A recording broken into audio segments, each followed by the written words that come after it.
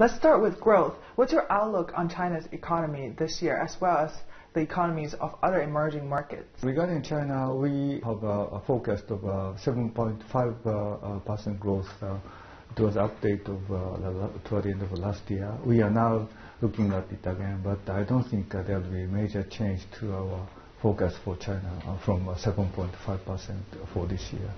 And for Asia, uh, we are expecting Asia as a whole is growing at the pace of just over 6% per annum, and I don't think there will be major change. What do you think of China's execution on this reform agenda? China's approach to reform is very clear, and what is now important is how to implement it. But I think the small group headed by President Xi himself uh, is a very important system to do that. And uh, uh, in the province levels, those systems of a small group are imitated. Whether they can really implement it or not is a challenge, but I feel a very strong commitment of the leadership through this forum. Do you think U.S. tapering will have major impacts on emerging economies? My short uh, answer is that there will be no, once again, big impact on the Asian economy.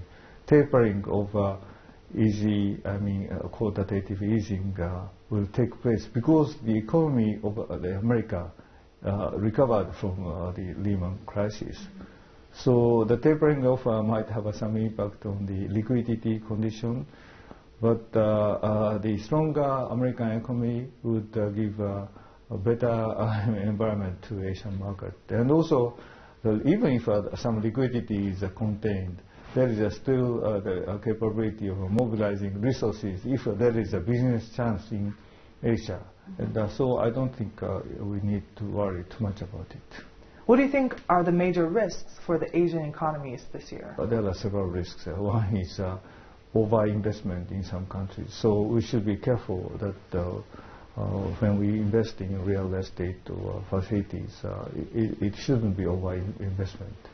And also, we should monitor financial system well. Mm-hmm. Uh, sometimes the financial systems, banks take too much risks. That is another possibility. And also, Asian economies should be prepared for future aging of the society. Mm-hmm. In China, it can be imminent uh, issue. Mm-hmm. So social protection, how to use uh, pension system, and how to design healthcare, those are real issues in many advanced economies. Healthcare cost is really expensive. So how to prepare them is a real challenge. And uh, environmental issues, mm-hmm. it's a really imminent issue for China, including in Beijing.